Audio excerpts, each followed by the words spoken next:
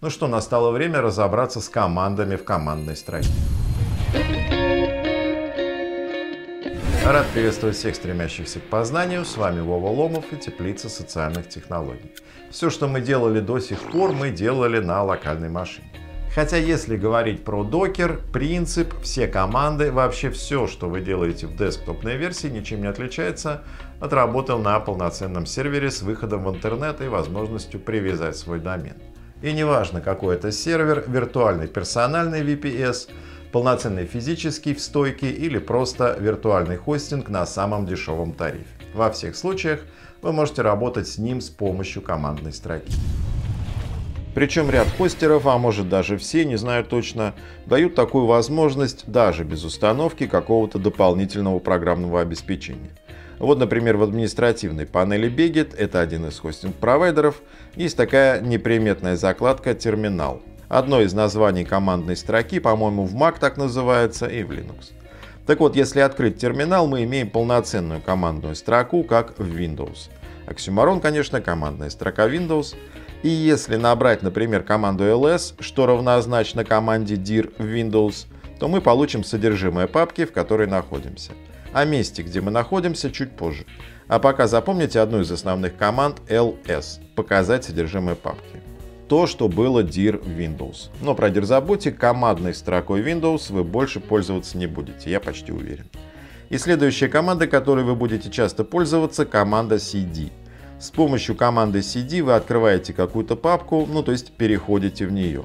Разные оболочки по-разному интерпретируют команды мыши. В пути, куда мы сейчас перейдем, правая кнопка мыши вставляет выделенный текст. А здесь, видите, надо делать Ctrl-V. Все. Мы зашли в папку заказ икона.ru и давайте разберемся с этим вот непонятным префиксом. Напомню, Windows префикс был такой и обозначал он просто место, где вы находитесь. Диск C, самый нижний уровень. Дальше некуда, можно только в бок, папка Users, папка Добер. Здесь на самом деле то же самое, просто немного по-другому. В принципе, вам также показывают, где вы находитесь, но еще и рассказывают, кто вы. То, что до собаки, это ваш логин, имя пользователя. А в случае с виртуальным хостингом, это имя вашей папки на сервере. То, что после собаки, это имя самого сервера.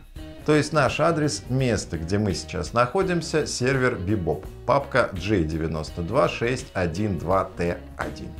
Знак тильда, волнистая линия, двоеточие и значок доллара просто есть. Они просто присутствуют всегда. Тильда может заменяться на слэш, об этом мы будем говорить позже. А все это вместе до значка доллара, точнее включая его, называется приглашением командной строки. Стереть, удалить это вы не можете. Полезная часть указания папки, в которой находитесь. Ну и переходим к пути. Терминал у хостера это, конечно, хорошо, но он не всегда есть. У вас может быть VPS, вообще без административной панели и так далее. В любом случае лучше установить пути.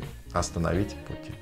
Пути это клиент для различных протоколов удаленного доступа. В принципе, вас интересует доступ по SSH, защищенному протоколу.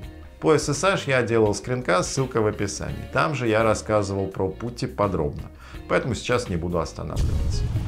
Единственное, в вашем аккаунте у хостера должна быть подключена возможность доступа по SSH. По-моему, по умолчанию она не включена. Как-то просто делается, надо просто поискать в административной панели. Ну и, собственно, находим пути, качаем пути, устанавливаем и запускаем. Тут указываете хост, на котором хотите авторизоваться. Имя сервера, не знаю, IP-адрес, в общем, место, где лежит ваш сервер. Доступ по SSH. Можно это сохранить на будущее. Как-то называете для себя и сейф. А вот, появилось тут. В принципе, там информация только об адресе хоста и авторизовываетесь. Это первое отличие от всего, что мы делали раньше. Авторизация. Это вам выдает хостер или системный администратор, который стартует сервер. Ну, то есть логин, пароль FTP. Так, наверное, проще сказать. У меня логин это вот это, я помню, и пароль. Кстати, в пути не надо делать Ctrl-V, правая кнопка мыши вставляет то, что в буфере обмена. Но то, что вы печатаете или вставляете пароль, никак не отображается. Имейте в виду, даже звездочек не ставит. Вот сейчас я вставил пароль и как будто ничего не происходит, но вот я нажимаю Enter и попадаю на свой сервер по защищенному протоколу SSH. То есть теперь я могу использовать для управления сервером командную строку и в следующем уроке мы по этому серверу с помощью командной строки и погуляем. Посмотрим, что здесь есть, что-нибудь создадим, что-нибудь удалим. В общем, освоимся.